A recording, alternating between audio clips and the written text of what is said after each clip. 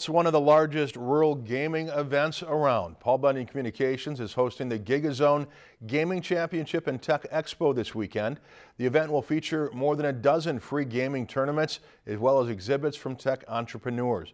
There's no cost to attend and people will have the opportunity to meet Danielle Feinberg, a special guest from Pixar Animation Studios.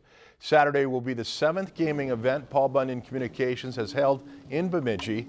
The Tech Expo will expose a growing regional audience to technology innovation and help them turn their technical skills and enthusiasm into hopefully successful careers in northern Minnesota is bigger and better than ever. We're going to have more gaming tournaments than we've had uh, before. We'll have more arcade and pinball machines for people to just walk up and play for free.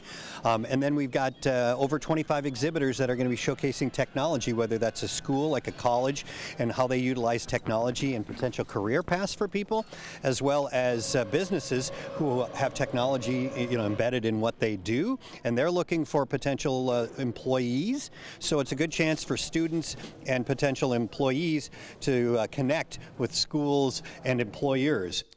The Sanford Center's doors will open for the event at 10 Saturday morning with events lasting throughout the day. Lakeland News is member supported content. Please consider supporting Lakeland News today.